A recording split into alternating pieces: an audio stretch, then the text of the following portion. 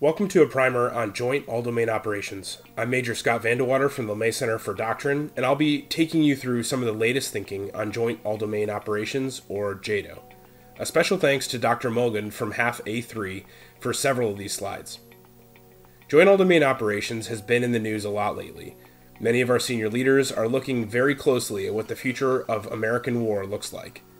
As a result, the Joint Staff has taken a special interest into what some are calling Joint All Domain Operations and the subset Joint All Domain Command and Control, or JADC2. The term JADO, at its surface, calls for increased cooperation across all of the warfighting domains as defined by joint doctrine. That said, what is a domain? There is presently no doctrinal definition of a domain. Joint doctrine does provide a list of warfighting domains. They include space, air, land, maritime, and cyberspace, which is part of the information environment. The electromagnetic spectrum is not technically a doctrinal domain, but there have been several attempts to make it so, with some efforts ongoing. Air Force Doctrine Annex 3 99 defines joint all domain operations as actions by the Joint Force in multiple domains, integrated in planning, and synchronized and executed at speed and scale needed to gain advantage and accomplish the mission comprised of air, land, maritime, cyberspace, and space domains, plus the electromagnetic spectrum, EMS, and joint all domain command and control as the art and science of decision making to rapidly translate decisions into action, leveraging capabilities across all domains with mission partners to achieve operational and informational advantage in competition and conflict. Some have described these definitions as unsatisfying, so if you feel that way, you're not alone. Ultimately, JADO is trying to present a solution to some of the issues identified by the national security strategy with respect to the erosion of our national competitive edge. Our adversaries have made asymmetric investments in A2AD complexes, which have challenged our ability to operate with impunity. With the return of great power competition to our national consciousness, we have gained greater awareness of the challenges that lie ahead.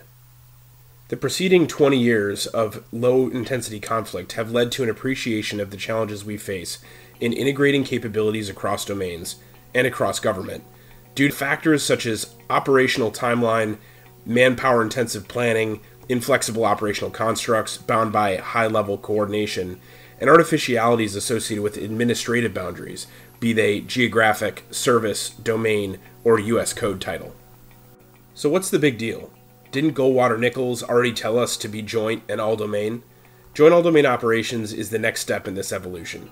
While we take the first few steps in JADO under the current operating paradigm, many believe that a much more significant change needs to happen to realize the ultimate vision. Modifications to the Unified Command Plan, Joint Command and Control structures, and even the Goldwater Nichols Act have been called for in an effort to posture the DoD for the future.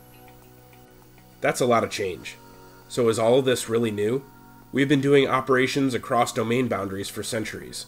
Why is what we're talking about now different? The critical insight to this question is in the increasing convergence of and fluidity between domains. For simplicity, let's look at the air domain as an example. Air capabilities are increasingly enhanced and dependent upon space, cyber, and land. An air platform must now address attack vectors from four other domains to assure its success. Let's look at this in an analogy. Historically, we've made some assumptions about our access and dominance across domains. All of our domains have lined up alongside each other, and so long as everyone stays roughly online, we move forward into the battle space with minimal concerns about our cross domain flanks. Our adversaries have been developing a number of asymmetric capabilities which have challenged our domain dominance in novel ways. As a result, we can no longer assume that our flanks are secure. As an example, let's look at a suppression of enemy air defenses mission. Historically, our air forces, red in the graphic, have advanced on the enemy's surface to air missile capabilities, blue, and been successful. Let us suppose, however, that our adversary has some EMS or cyber capability, green, which is capable of affecting our air assets. This intra domain flanking maneuver presents access to our squishy underbelly, our dependence on other domains for mission success. This is both a vulnerability and an opportunity. the adversary is no less susceptible to intra domain attack, though in many cases, the character of their vulnerability may be different. So, purely for the purpose of this briefing, let me outline some terms. Keep in mind, these are descriptions which are useful for thinking but are non doctrinal. Intra domain means from one domain to the same domain. Interdomain means from one domain into another. And transdomain, and again, for this briefing only, means from one domain into another to achieve objectives in still another. An example would be using EMS to jam a satellite, which is critical to an RPA. That is, EMS to space yielding an air effect. Another analogy our ability to dominate globally has been built on the back of the American taxpayer. Since World War II, we have leveraged the most exquisite capabilities and platforms across every domain and have created the equivalent of a military dream team. As our technology accelerates and our ability to sustain the remnant of the Cold War wanes, we are faced with a choice. Continue to limp along a huge force or modernize a smaller one. JADO presents a third option create a miracle on ice type of joint force. A more rough and ready, less exquisite force where the strength lies in team synergies vice individual efforts. This concept dovetails nicely into thinking in terms of systems rather than individual lines of effort. Having teams capable of a deeper understanding of team dynamics and having a reflexive ability to make connections at speed and volume. One of my all time favorite quotes is all models are wrong, some are useful, by the mathematician George E.P. Box. On the bottom of the slide are two models of the operating environment depicting the domains, right side in red, and the environments. The left side is from Joint Pub 5.0. The right side is from the JADO Doctrine publication. As mentioned earlier, agility between domains is a critical change in the operating environment. Nations and their militaries are dealing with these changes in different ways. The Chinese Communist Party, for example, along with some Russian elements, are trying to limit and control the agility across domains and environments through things like social credit systems and leveraging analog communication systems. The US, on the other hand, has taken a much more permissive view and is attempting to accelerate, enhance, and harness the agility enabled by technology. In many ways, this is the central tension in two competing theories of victory. Historically, due to the cumbersome nature of inter and trans domain operations. For simplicity, among other reasons, we have aligned our forces to domains and have oriented our seams along those lines. So long as our adversary does the same, we meet principally in intra domain tactical competitions. Some may say, why have seams at all? This presents a logistics and coordination problem which is as old as warfare. Without silos, the number of planners, for example, which would need to coordinate with one another becomes untenable and unmanageable. Ultimately, what Jado intends to do is to orient the seams perpendicular to the adversary, to allow the forces closest to the enemy to work seamlessly, pun intended, with one another and to leverage one another's strengths to expose adversary weakness, and to prevent adversary exploitation of friendly seams. One last model. If our seams are tailored to have dissimilar structures, this presents an even more challenging problem to the adversary as they attempt to find a seam which is both accessible and exploitable. In this final model, tearing any one seam will leave a force which is able to maintain its momentum and integrity and continue to fight while repairing the exploited seam. Two critical points here. Some have asked, what about our allies? Great point. In the news recently, in fact, you can find evidence that our senior leaders are already thinking this way. The Air Force and Army have agreed to work on what they're calling CJAD C2, highlighting the need to consider our allies. Additionally, just as Russia and China are leveraging other parts of their governments to address great power competition, JADO, as a concept, acknowledges the need for interagency cooperation and a need to coordinate and attain unity of effort when unity of command is not attainable. This is particularly applicable when we talk about competitive activities short of war and gray zone activities. So, what are the main points? How might we operate under a JADO construct? The JADO concept is still in development, but the Doctrine Center has pulled six core ideas which are applicable to operations today. centralized control, decentralized execution through mission type orders. I want to be clear about something here. This is nothing new. That said, we've created a system for the violent extremist fight, which runs counter to the decentralized execution portion. This return to the foundational premise of air power will allow decentralized commanders to execute with disciplined initiative, even if disconnected from higher headquarters. Delegation of authority. I would like to pull an important thread on this. This is not intended to be only decision authority, but also authorities in the legal sense. Due to the character of our ongoing conflicts, the decision authority to utilize certain effects, or even something as simple as target engagement authority, TEA, has been retained at arguably arbitrarily high levels. To be effective against a peer or near peer competitor, the joint force must have the ability to make decisions without having to mother may I four or five echelons above. Sharing of information.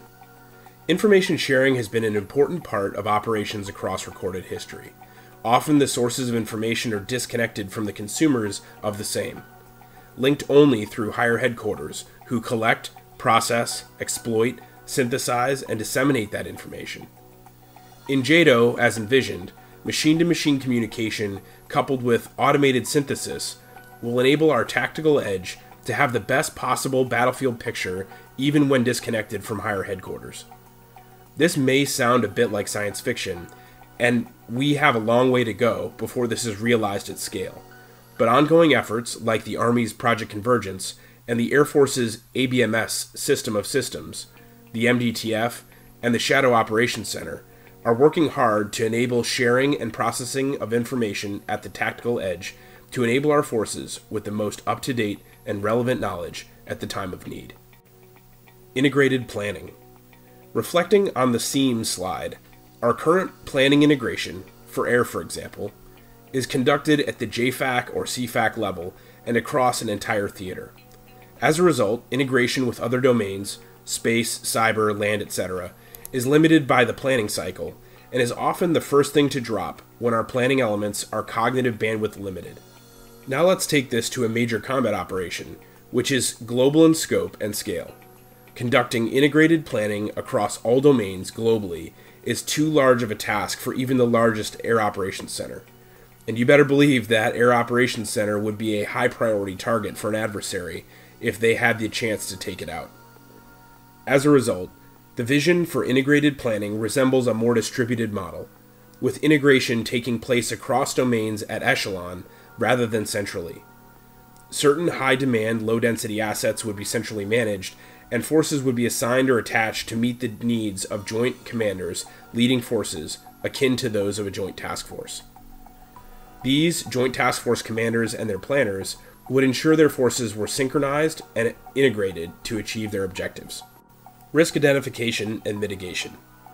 Risk across the force takes on many nomenclatures. For some, the terms risk to force and risk to mission are the two metrics. To the air component, there is largely consideration for acceptable level of risk, or ALR. Still further, among cyber and space professionals, measures like intel gain loss and technical gain loss, IGL and TGL, are measures of risk. While the JADO framework does not yet propose a common lexicon for risk, and there are some existing joint risk frameworks, the message in JADO is that our view of risk is generally very domain specific and neglects risk which we displace to other domains. For example, an ISR aircraft which doesn't take off due to weather hasn't simply mitigated risk, it has displaced risk to the ground force which decides to action its objective in spite of the lack of ISR support.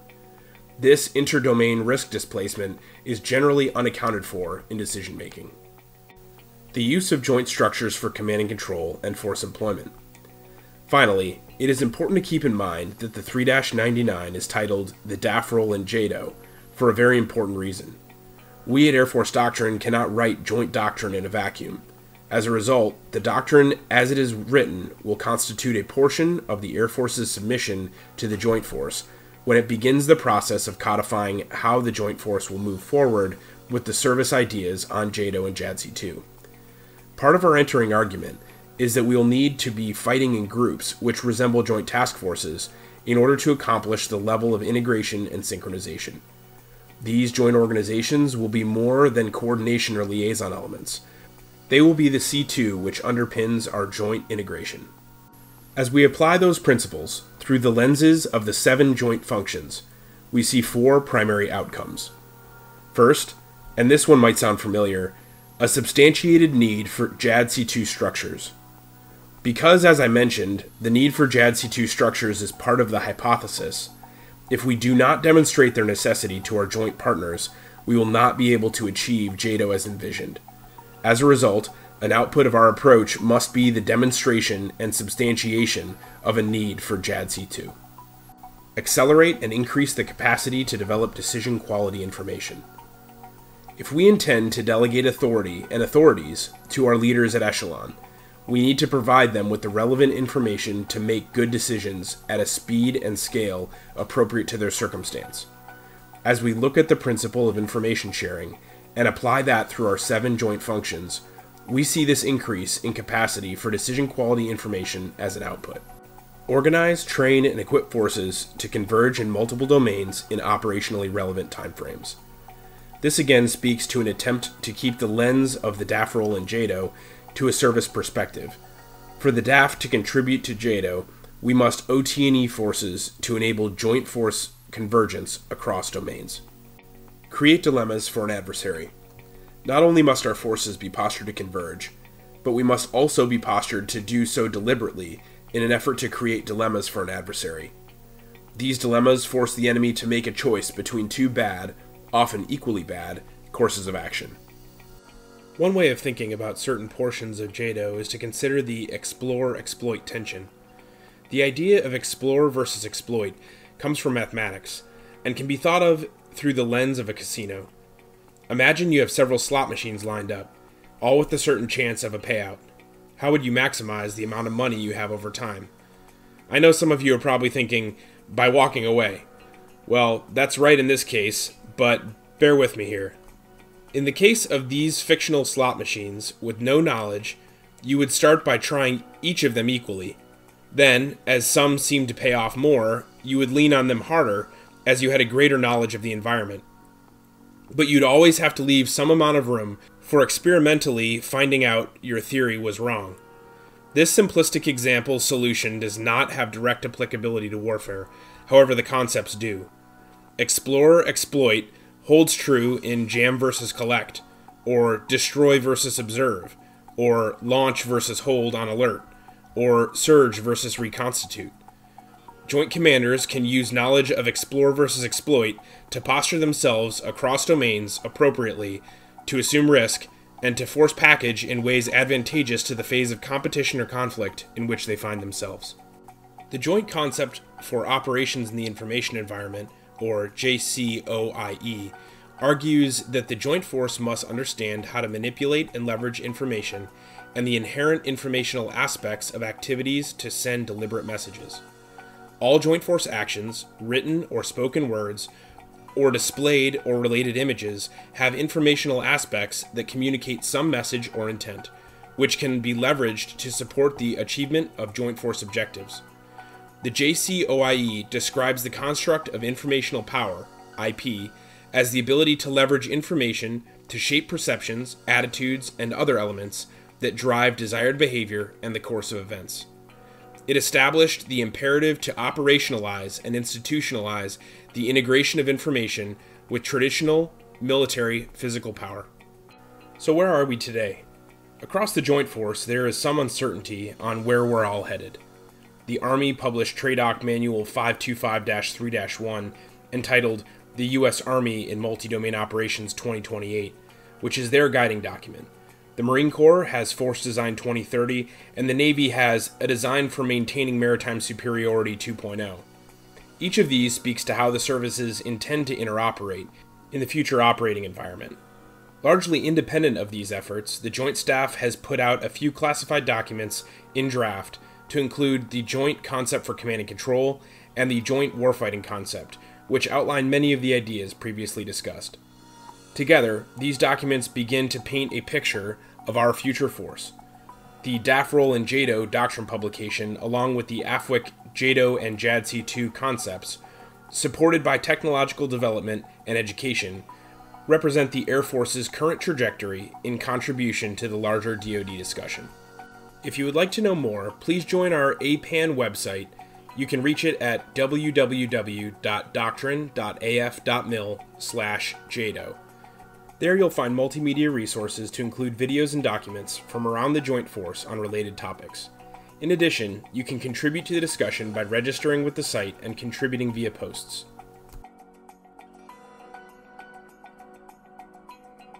Thank you for your time and attention. Please feel free to reach out to us via social media or through our org box, which you can find in the global address list.